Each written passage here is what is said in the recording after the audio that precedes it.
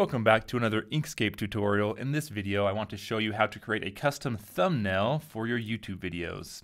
Uh, so this is some thumbnails I created um, for this tutorial series using Sweet Home 3D. And I'm going to actually just hit print screen right now and go into Inkscape. I'm going to right click and go to paste. I'm just going to paste this screenshot. And I'm going to do that actually one more time. I just want to get a couple different examples. We'll grab some videos here and go print screen. Because what I want to do is actually see what these look like. So if we zoom in here a little bit, I can kind of get an idea for what the thumbnail will look like. So on a on the playlist, look at this, the times, the, the length of the video kind of covers up the bottom right-hand corner of the video. And if we come over here to these other ones, just a regular one, it's not as, this is a larger video, so the timestamp doesn't take up as much space. There's also a little clock in the top right hand corner that could cover something. So when I'm designing this thumbnail, I'm going to want to make sure I keep the top right hand corner and the uh, bottom right hand corner kind of don't have anything very important there that'll get covered up. See, when I designed these ones, I actually didn't consider that very well because I have the logo here that kind of gets covered up when it's in the playlist view. So in designing this one, I'm going to change that a little bit. So what I can do, first of all, I'm just going to I'll just get my uh, rectangle tool and I'll draw a little rectangle here. And I'll make it maybe like a, a lighter gray and turn the opacity way down so I can kind of see through it a little bit. Maybe we'll make it like red so we can see what's going on here. Okay, perfect. So this is kind of the, the size.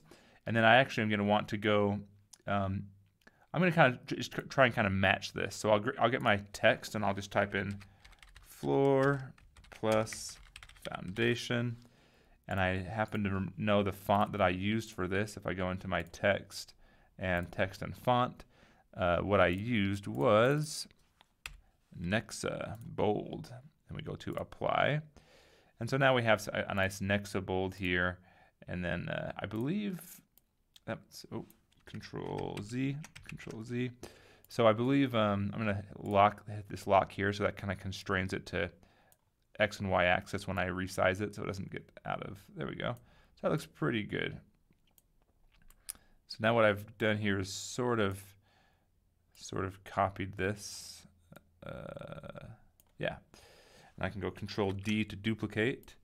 I can come down here and rename this part. Down here is called Lesson 2.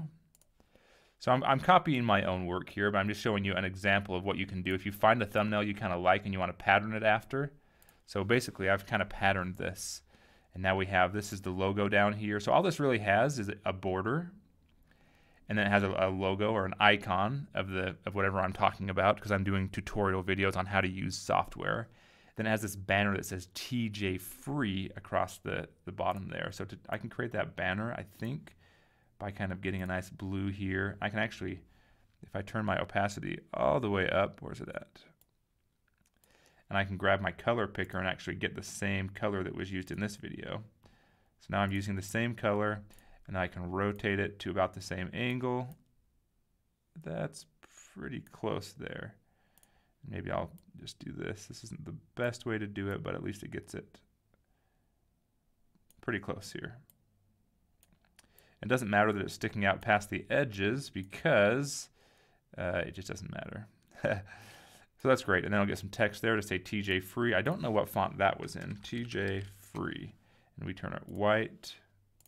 Oops, we turn it white. And then we'll also rotate it.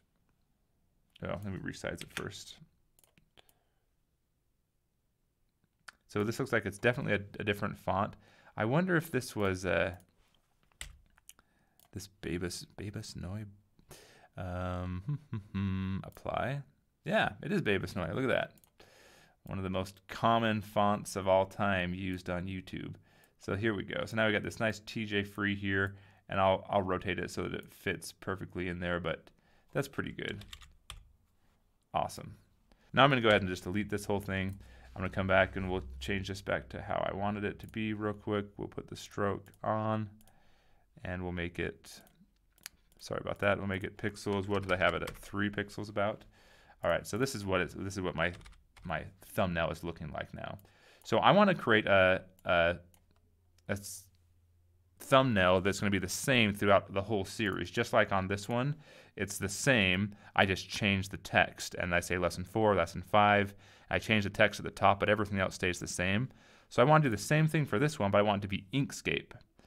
And so I have I found the Inkscape uh, logo. I got it from Wikipedia, and it's actually here in is it pictures? Yeah, I've got it right here. So I'm gonna actually just drag it in. I'm dragging the Inkscape oh icon into Inkscape.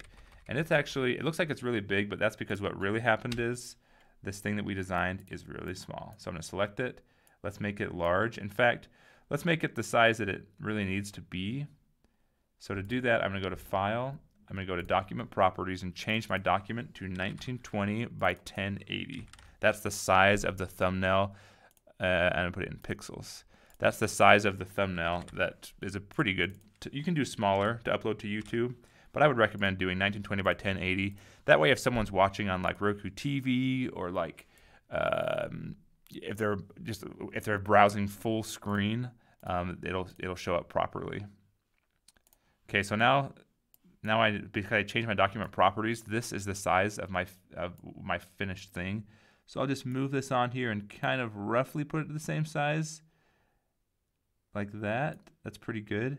And then I'm actually going to click on my square and make sure that it's exactly how I want it to be too, or my rectangle. So pixels, so I'll make it 1920 by 1080, exactly. And then I'll just put it exactly within the constraints of this document, and that's perfect. Okay, pretty good. So this is gonna, this thing, let's see, I think I want my border, gonna hit page up, or I'll just raise to top so that it covers up the covers over top of this. Does this have transparency? Yes. Let's make it 100%. And then we'll change the color of it to, I haven't decided what color I want to do. Oh yeah, no I did. That's right, I want to do gray. So let's go back to this and let's make it gray. All right, and so now I want to move, I want to move this up a little bit. I want that to be centered in there about like that.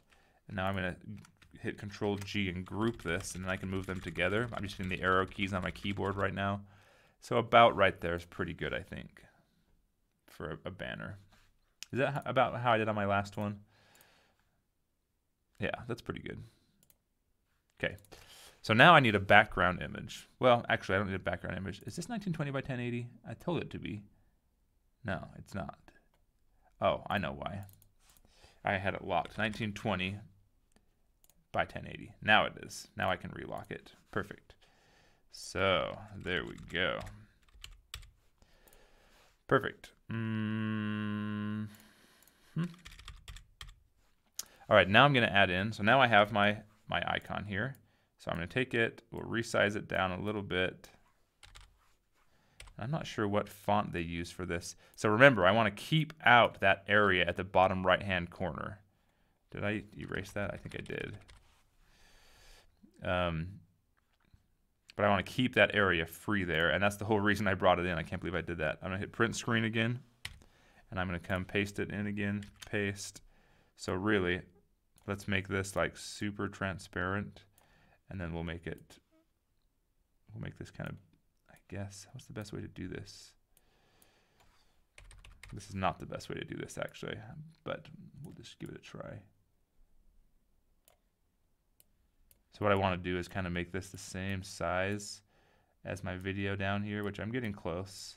And then I can see how much of that is taken up by, that's pretty good. So now when I overlay this here, and actually what I'm going to do is just, I'm going to take and copy this so I have two different versions. So now I go duplicate, move the whole thing over here so it's out of the way.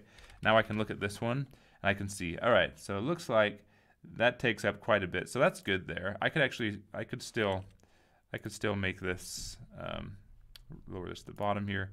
I can still move, I can make this icon larger. I can put it anywhere. I don't want to get it here. If I put it here, it'll get covered up. So I could put it even a little bit further over this way if I wanted to because I, I really want to have some sort of a background image. But I think I might just center it. So centered it, centering it should be fine. Okay, good to know. So I'll come back over here. Feel like I'm talking a lot and Hope I'm not confusing you. So what I'm going to do, I'm going to go uh, grab all this stuff. I'm going to go, or not all of it. I'm actually just going to grab this and then shift and do this. And we're going to center these on each other. So I'm going to go object, align and distribute, and we'll center those up. So now this is right in the center. This I don't necessarily want in the center. I want, but I do want it to be lined up. I want these to be pushed like this. Great. And then we'll put this kind of up here. That's pretty good. Oh, and this lesson two was uh, had its own little banner behind it. That's because there was a background image. So I could just export this right now and we could see what it looks like. I don't love it yet, but let's if we just let's go to export and see. So we go export PNG, we'll export it to the desktop and we'll call it test one. And that's not on my desktop. Let's put it uh, on the desktop, test one, perfect. And then let's make the size, we'll make this like 92 dpi and we'll make this 1920 by 1080, perfect, 96 dpi. Very good.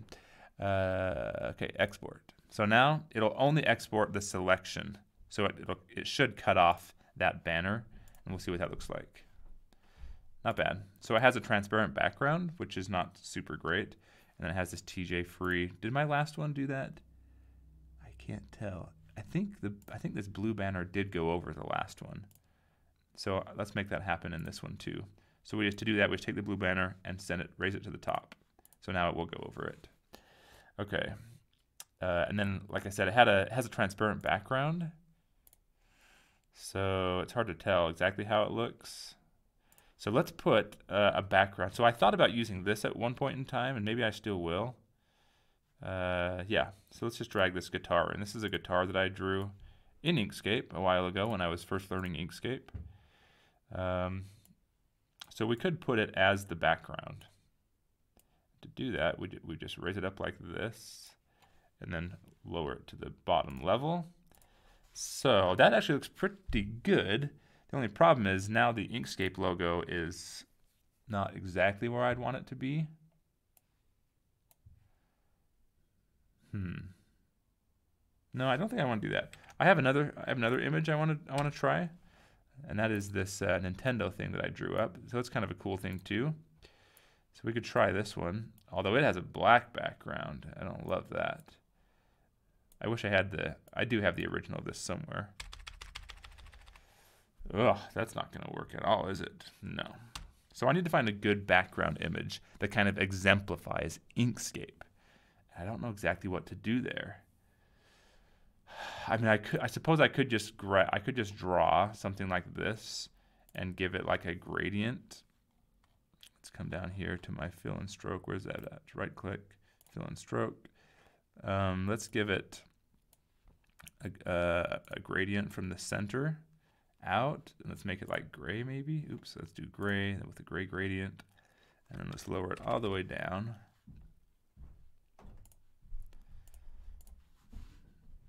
Yeah, that does not look that does not look amazing to me. I think this is too oops. This is too dark, maybe. And I think my I want this to be reversed, this gradient. Let's try it like that. Let's give it a little bit of subtle, let's give it some subtle color. That's not bad, like light purple. Could just give it a color background, then we give this more of a, a, uh, a lighter color. So I've been playing with this for a little bit, and I actually did a couple things. So I added a drop shadow to this. I put a little a little white banner here, and I added a drop shadow to it, sort of like a little black uh, backing to it. I added uh, the text to the Inkscape below. I made the icon a little bit larger. And then obviously I changed it to this sort of blue color instead of the purple, which I think I like a lot better. Uh, so now I think I like this. I haven't actually quite exported it just yet in this version, but I'm going to do an export real quick here. And I'll just take it to desktop again. And I'll call this RRR, save, export. So now I'll take a look at this one and see what it looks like. Yeah, that looks pretty good to me. I think that'll be nice. Um, I'm not so sure I love that white now around there, but I think it'll be small enough. I don't think people will really notice. But you know what? I am going to take it out. I'm going to take out this, I have this sort of white. Actually, I'm just going to, what I'm going to do, I'm going to come here and grab just the white part. Do I have the white selected? Yeah. And I'm going to actually add a little bit of blur to it. That'll make it look better. All right, very cool. Uh, now, so what I need to do is I need to create a bunch of these. So I'm going to come over here and delete this so it's not taking up any space. This is my original. I'll delete that. I'm going to take and delete this purple one too. So now this is the final one that I want to use. And so everything I really want to do with this, I'm just going to bring it over here. So if I come up here, I'm actually going to want to copy this a bunch of times. So I'm going to take this floor and foundation and I'll just erase the text and type in the letter A. And then on lesson, I can keep it lesson 2. It doesn't really matter. Then we just go Control D, and I'll just move it down here. Control D. So I need like a bunch of these. Control D, because what I really need is, how many of them? Let's come over here and look.